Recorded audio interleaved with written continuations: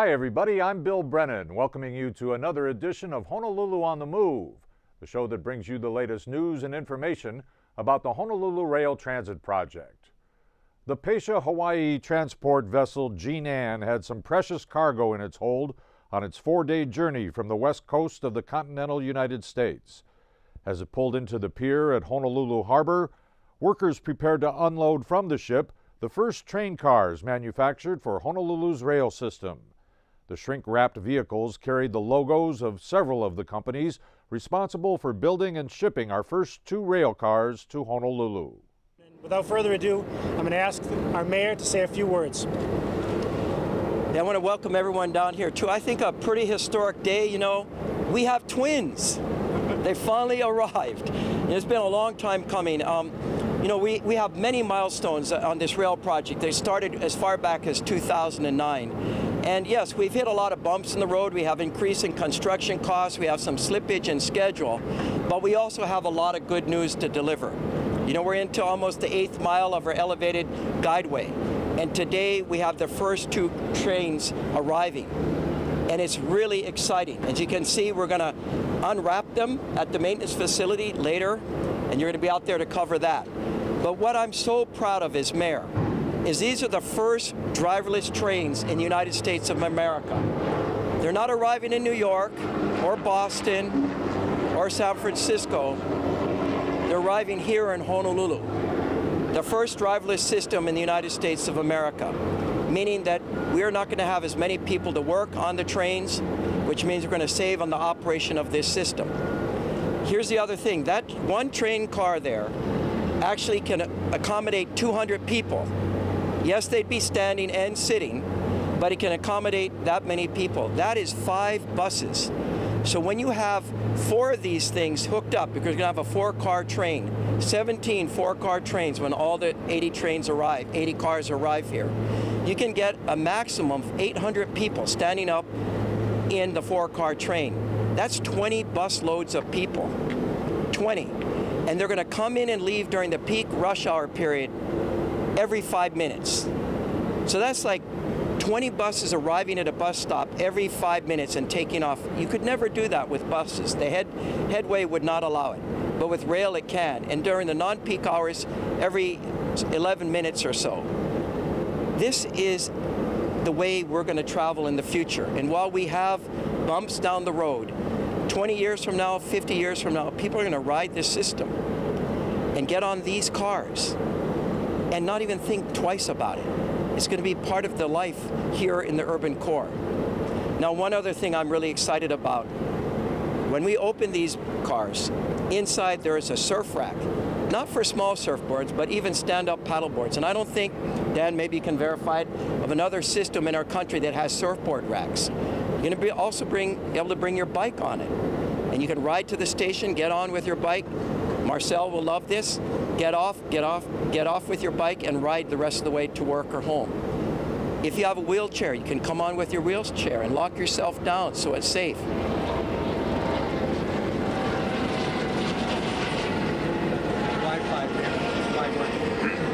If you have a stroller, you can bring your stroller in.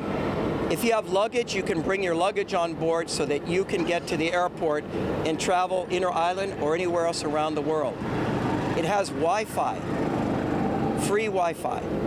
It has closed circuit TVs in every car to make sure that bad things don't happen.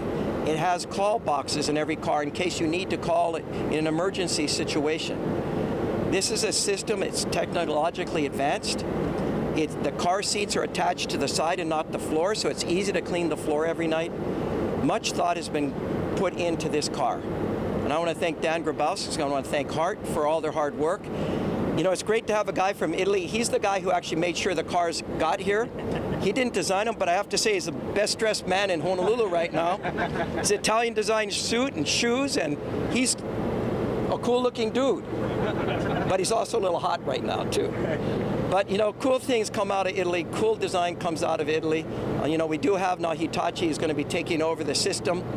They're our neighbors. They're just half halfway across our ocean, and that's great too. So a lot of good news to report today. And with that, I'm going to turn it back to Dan. Thank you, Dan. Great. Thank you. Thank you, Mayor. Thanks. And Mayor, I can tell you, we will be the uh, only system in the world that does have surfboard racks. So All right. that is a first also in the world. Um, we have great partners uh, in the mayor's office uh, and great partners at the city council. The transportation chair of the city council is here to say a few words on behalf of uh, uh, the city council. Thank you. Thank you, Dan. Thank you, Dan, and thank you, Mayor. Uh, we just wanted to uh, convey our congratulations today uh, to HART and to the city and county. It's a really good day. We're very happy with the way uh, rail is progressing. Uh, this year alone, we've done so much uh, to move the issue forward.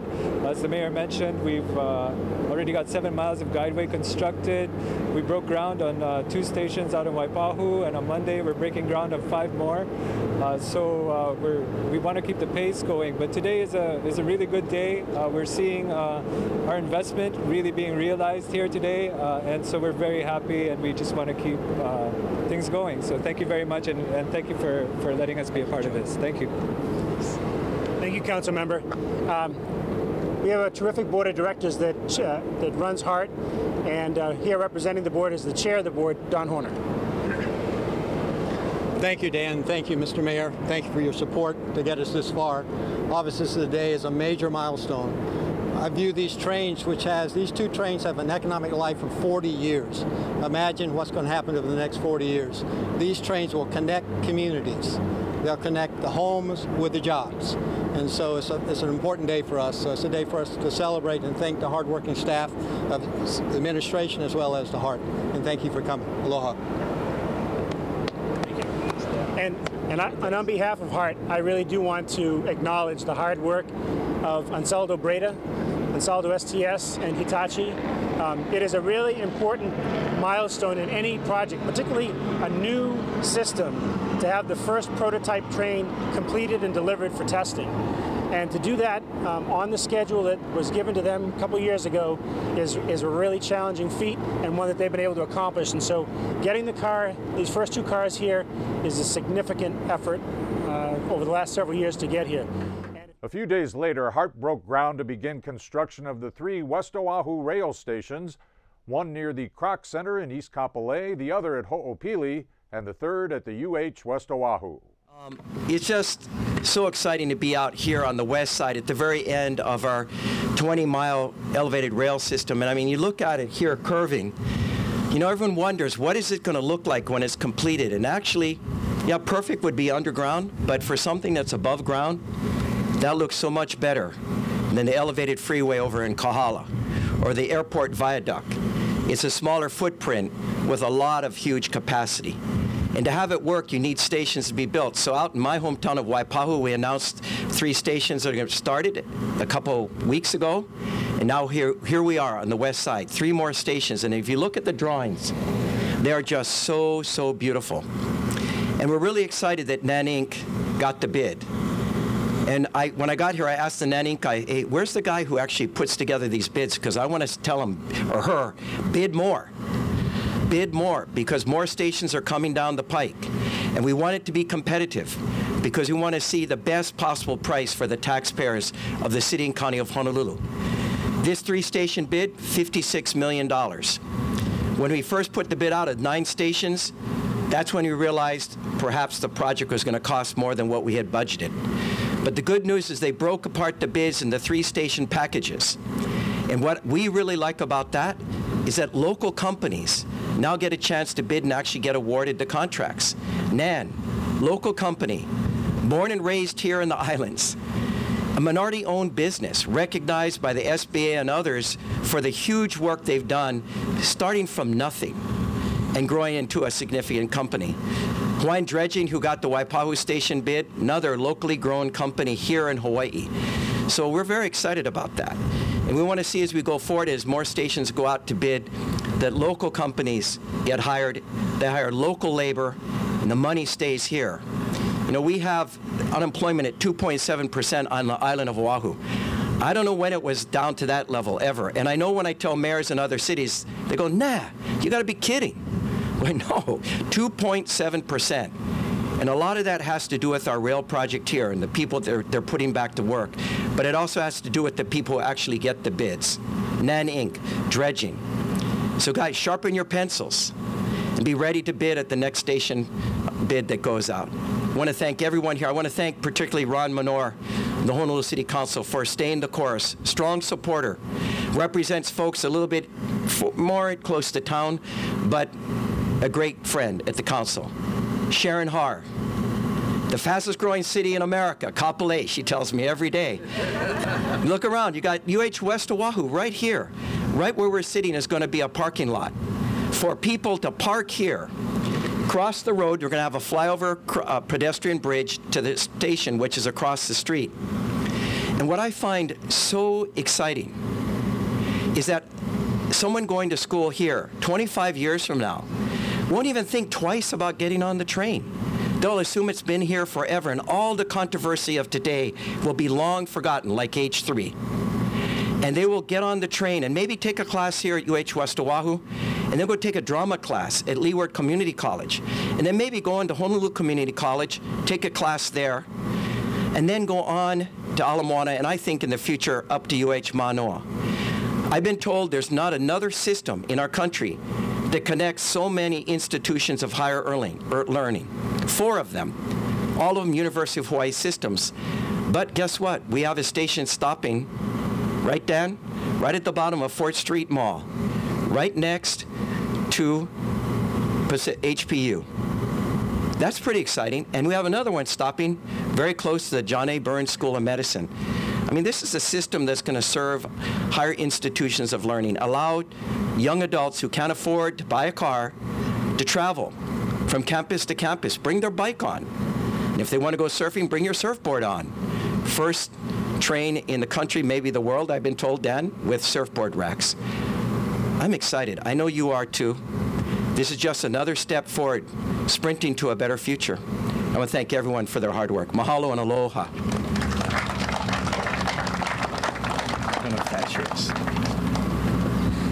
Thank you very much, Mayor. In 2012, we went to Washington to seek $1.55 billion of funding from the federal government to fund about a third of the cost of this project. And I can remember back to 2012, uh, like it was yesterday, there was a lot of fear, would we actually get uh, this grant? It was going to be, if, if awarded, the single largest federal grant in the United States of America for a rail project. And with the amazing work of our delegation, we not only got that money, but then every single year since, we've been able to answer one of the most important questions that I get, which is, is the Congress actually going to appropriate $250 million this year again for this project in order to fulfill the full $1.55 billion? And, and our congressional delegation has been fantastic. We have literally gotten every single federal dollar that has been promised and pledged back in 2012. So much, and if you can believe it, the amount of the money that's moving through the, the process right now the is the final payment on $1.55 billion already. The Congress has already appropriated over a billion dollars, and that's in our bank account in Washington. That is no small feat. And I think when we look back on how much we feared, would we actually get the money, it's really important today in 2016 to acknowledge the amazing dedication of our delegation, in fact, getting that done. And representing our delegation, we're very, very proud and pleased to have Senator Mazie Hirono.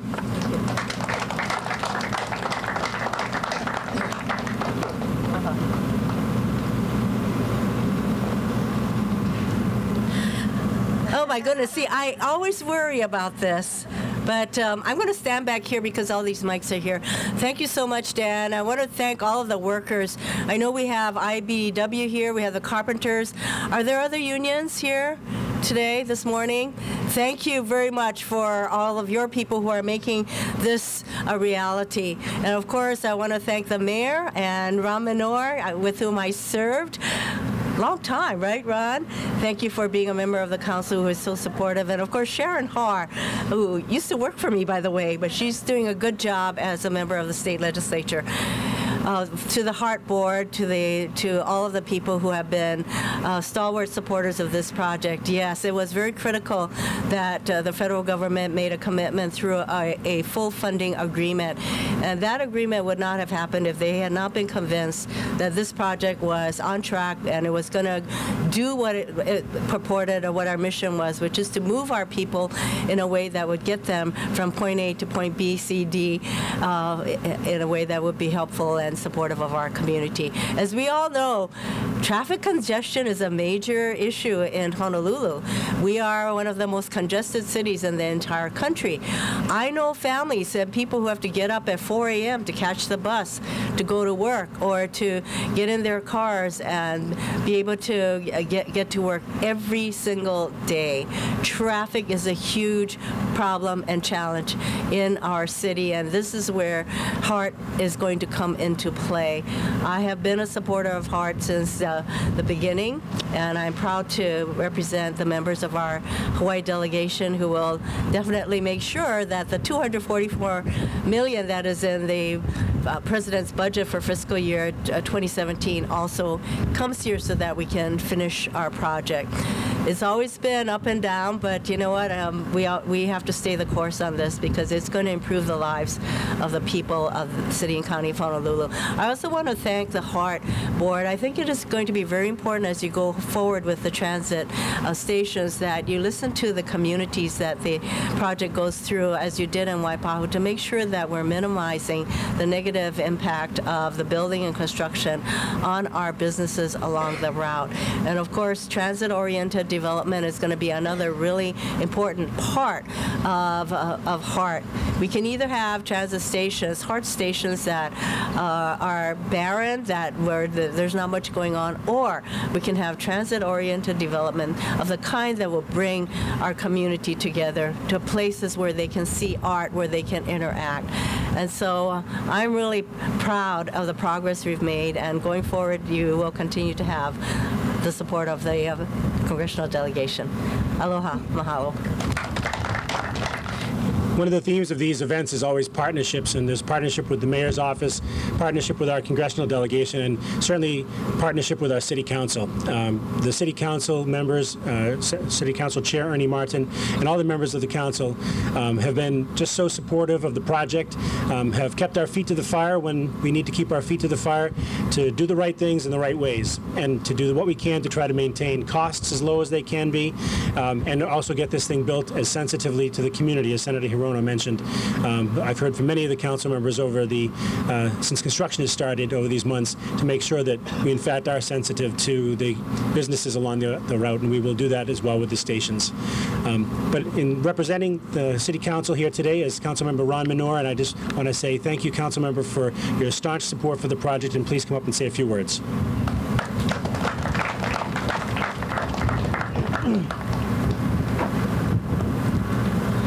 Uh, good morning to all of you. Thank you, Dan. Uh, it really is a pleasure for me to be able to represent the City Council at this groundbreaking. I was asked by my colleagues to be here today because they recognize the fact that the uh, uh, opening of these stations and eventually the full operation of rail will benefit many of the residents whom I represent uh, in this area. Uh, as the legislators who represent West Oahu will attest, and I know that Representatives Har and Lopresti would agree to this, for our constituents, uh, traffic congestion has uh, become quite intolerable. And of course, our traffic woes will only get worse as our population continues to grow. It's been projected that uh, from 2015 to 2030, that the population in this area will increase by over 60,000 people. And so we can anticipate worsening traffic. So rail is clearly important from the standpoint of addressing the transportation needs, not only of our entire island, but especially for this particular region. And I also think that, that it's important from a transportation planning perspective that this groundbreaking, the opening of these uh, rail stations, would be occurring adjacent to the UH West Oahu campus. As a state senator, uh, I strongly supported the location of the UH West Oahu campus in the Kapolei uh, area, not only to meet the educational needs of our young people, but also because, from a transportation perspective, I realized that it would help to redirect uh, traffic away from the heavily congested urban core out to the secondary urban center here in the Ewa Plains by creating a campus that students can travel to and attend as an alternative to the UH Manoa campus. So in that regard, I believe that the opening of these stations and the uh, full operation of rail will be consistent with that vision and that long-term plan and would be kept compatible for the tremendous growth that's going to be planned for this particular area.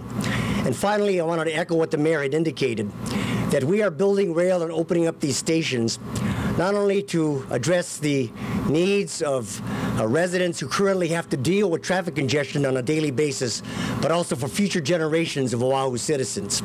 And so when these stations open up, it will be appreciated by our children and our grandchildren for many years to come. We're really building it for the future of this region and for the entire island.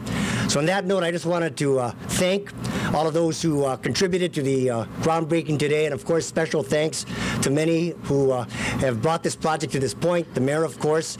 Uh, we can't forget uh, Senator Hirono, and please keep the federal dollars flowing to to this project. I see my good friend Damien Kim from IBEW, of course, the contractors who made this possible. Thank you for this day and for allowing me to participate, and looking forward to the groundbreaking. Mahalo.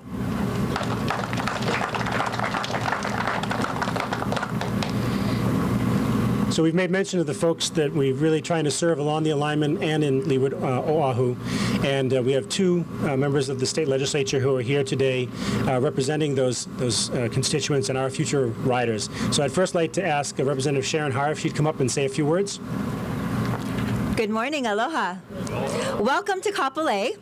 Um, I'm always excited when so many big names come out here. Uh, every day I drive on Kualaka'i. I live just past Kapolei Parkway, and so I've seen this fixed guideway up for many months now. And other uh, colleagues of mine who come out here, they're always excited to say, "Oh my gosh!" And I said, "This has been up for quite some time. Are you kidding me? We've been doing, we're going gangbusters out here in Kapolei." Um, obviously, it's just a, such an exciting day because we are breaking ground on these first three rail stations. You know, these first three rail stations will really set the stage for the economic development that will occur at all of the stations uh, on Oahu. You know, Senator Hirono mentioned transit-oriented development. Um, Dan Grabauskas knows, and Brennan knows that, um, and so does I think Ivan. They all know that, and George Atta. Um, unfortunately, well, not unfortunately, but fortunately, I was named the de facto West Oahu Transit-Oriented Development Subcommittee Chair, and we've been having several meetings regarding transit-oriented development and what it means to each community. You know, as Senator Hirono mentioned, transit-oriented development, it's not going to be just about these stations. It's going to be about the economic development and the businesses and the jobs that will be created through transit-oriented development. And obviously, in turn, by having transit-oriented development and the businesses and the jobs, it will be convenience for our residents and our riders. And that's what it's all about. It's connecting the communities through all of uh, rail, and that's what it's going to be bringing to the island of Oahu. So I, there's so many people I want to thank. First and foremost, Dan Grabauskas and Brennan You know, we've gone through battles together, and you guys have stood the course. Thank you for being so strong. Um, you guys have had to come to the legislature and beg, and I'm sorry for that. Um, but I thank you for your leadership and for your uh, and for really being tenacious in this process. Of course, Mayor Caldwell, one of my dearest friends, who I had the pleasure of serving in the legislature with, he was probably one of the greatest majority leaders. Um, I was a freshman and out of control, and he did a very good job of reining me in. Um, he has been wonderful in terms of his uh, poise with this project. He has been highly criticized, and again, just like he said about Representative Lopresti, it's the right thing to do, and so he will continue to stay the course. You know, thank you for being such a supporter of West Oahu, Mayor Caldwell. You are truly a wonderful leader for this island. Um, of course, I want to thank Senator Hirono, as she mentioned. I had the pr privilege of working for her. Um, people say, oh, you know, you have such a strong backbone. Where did you get it? And I say, a lot of it came from my training when I worked with her when she was a lieutenant governor. So I'm so proud of her serving in our congressional delegation. Senator, thank you for your support of West Oahu for this project. And as uh, Council Member Menor said, we know that you and our congressional delegation will ensure that the federal dollars keep coming in. Obviously, with uh, the council, Ron Menor, I've known you for many years as well. Uh, unfortunately, Kimberly Pine is not here either, but I'd like to thank the two of you for your strong support. It's been a pleasure working with you folks on this project. Of course, my colleague Matt Lopresti, um, he is new to the legislature. He's our Vice Chair of Transportation, and he will stand and do what uh, is right because he knows we have to do what is right by the residents of West Oahu. And of course, I need to thank the board of HART. Um, under the leadership of Don Horner, a dear friend of mine who I have the utmost respect for. Um, you know, Ivan, Damien, George, you guys have taken cracks, and I'm not going to deny that. It has been a tough road for you folks. Um, I'm ecstatic that we have now uh, Congresswoman um, uh, Hanabusa added to the board. I think she adds a nice mix. But I think that you guys have really taken a lot of the heat on this project, and yet you continue to be tenacious because you understand the importance of this project and what it means, not just to the residents of the West Side, but to all of Oahu and what it will mean for the way we live and improving our qualities of life. So to all of the workers, Nan Inc., Korean owners, I'm Korean, so thank you for all your hard work. No change orders, guys, okay? And I want to thank all of everybody who's been involved in this project. Um, I want to just say very quickly, my colleague Ty Cullen, uh, Representative Ty Cullen, he represents the Ho'opili station. For, uh, I represent the first two stations, and he represents the Ho'opili station. Unfortunately, he could not be here this morning, but he did send his regrets. So on behalf of the West Oahu uh, Hawaii State Legislature delegation, we want to thank all of you for your hard work on this project, and let's keep going forward. Aloha. Kahu Kordell Kekoa led the traditional untying of the Maile, and work on our rail stations is now underway. The staff and management of HART appreciates the support of our elected representatives and looks forward to working closely with our local, state, and federal officials well into the future. On behalf of all of us on the project team, mahalo for joining us today, and we'll see you again next time for another edition of Honolulu on the Move. If you have a question you'd like us to answer on our next Honolulu on the Move show, go ahead and hit us up on Twitter or Facebook. Just two of the places where you can stay informed with up to date information on the Honolulu Rail Transit Project. And you can view our latest project videos on our YouTube channel. If you'd like more information on the project, or would like a presentation to your group or organization, give us a call at our project hotline at 566 2299 or contact us via our website at honolulutransit.org. You'll be able to keep up with the latest news and information about the project, important meeting dates, times, and locations, and examine the official documents that are guiding the project's planning and construction. Take some time to visit honolulutransit.org.